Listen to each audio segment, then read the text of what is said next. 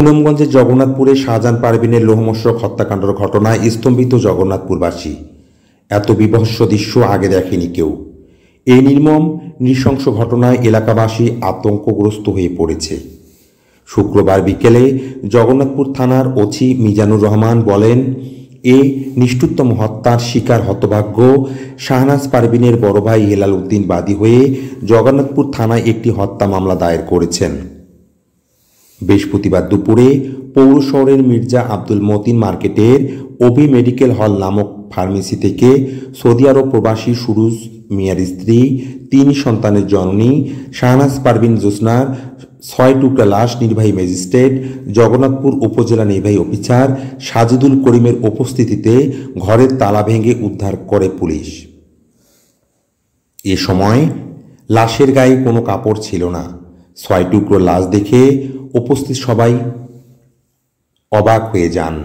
কোনো মানুষ এভাবে মানুষকে এত নিষ্ঠুরভাবে হত্যা করতে পারে? উপস্থিত শত শত এলাকাবাসীর মধ্যে এ প্রশ্নই বারবার ঘুরপাক খাচ্ছে। তালাবদ্ধ ফার্মেসি থেকে উদ্ধার করা প্রবাসী স্ত্রীর লাশের হাত, পা, মাথা সব আলাদা। এত নৃশংস খুন আর বিভৎস দৃশ্য আগে কেউ দেখেনি বলে মন্তব্য জগন্নাথপুরের মানুষের। বুধবার বিকাল থেকে শাহনাজ পারভিন নিখোঁজ ছিলেন। তার স্বামী সৌদি আরব প্রবাসী। তিনি তিন সন্তান নিয়ে দীর্ঘদিন থেকে জগন্নাথপুর পৌরসভার পেছনে আবাসিক এলাকায় নিজস্ব দোতলা বাসায় বসবাস করে আছেন খুন হওয়া পারভিনের স্বামী সুরুক মিয়ার বাড়ি উপজেলার নারিকেলতলা গ্রামে। নিহত শাহনাজ পারভিনের ছেলে উদয় জানান গত বুধবার সকালে ওবি মেডিকেল হলের মালিক জিতেশ চন্দ্র গোপ তাদের বাসায় গিয়ে শাহনাজ পারভিনের ব্লাড প্রেশার মাপেন। পরে তিনি পারভিনকে দোকানে যাওয়ার কথা বলে চলে যান।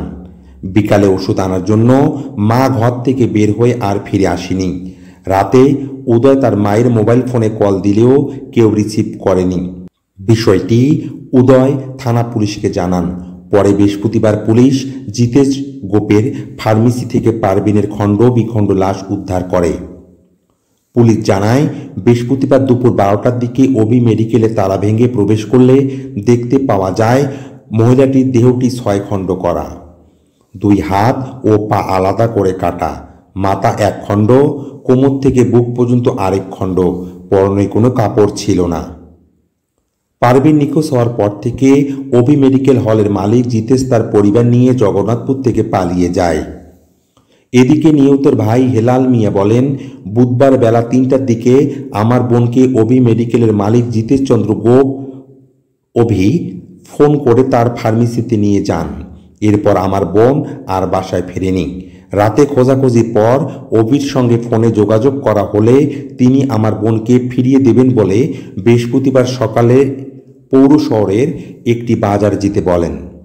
সকালে বাজারে গিয়ে প্রায় ঘন্টাখানেক অপেক্ষা করার পর অভিকে ফোন দেই, কিন্তু ফোন বন্ধ পাই। পরে পুলিশ নিয়ে তার বাসায় গিয়ে দেখি বাসার দরজায় তালা লাগানো। তখন আমাদের সন্দেহ হয়। দুপুরে বাজারে তার ফার্মেসিতে গিয়ে তালা ভেঙে আমার বোনের টুকরা টুকরা লাশ উদ্ধার করে পুলিশ। স্থানীয় সূত্র জানায়, জিতেশ গোপ কিশোরগঞ্জের ইটনা উপজেলার শৈলা গ্রামের যাদব গোপের ছেলে। নয় বছর জগন্নাথপুর বাজারের বিভিন্ন ওষুধের দোকানে চাকরির পর গত এক বছর ধরে জগন্নাথপুর পৌরশহরের মির্জা আব্দুল মতিন মার্কেটে ওভি মেডিকেল হল নামে একটি ফার্মেসি খুলে নিজে ব্যবসা শুরু করেন। উপর থেকে আসামিকে ধরতে বিভিন্ন স্থানে আইনশৃঙ্খলা বাহিনীর কয়েকটি ইউনিট অভিযান পরিচালনা করে। অবশেষে মোবাইল ট্র্যাকিংয়ের মাধ্যমে ঢাকা থেকে অপরাধীকে আটক করতে সক্ষম হয়েছেন। দ্রুত সময়ের মধ্যে অপরাধীকে গ্রেপ্তার করায় জগন্নাথপুরবাসী আইনশৃঙ্খলা বাহিনীকে সাধুবাদ জানিয়েছেন।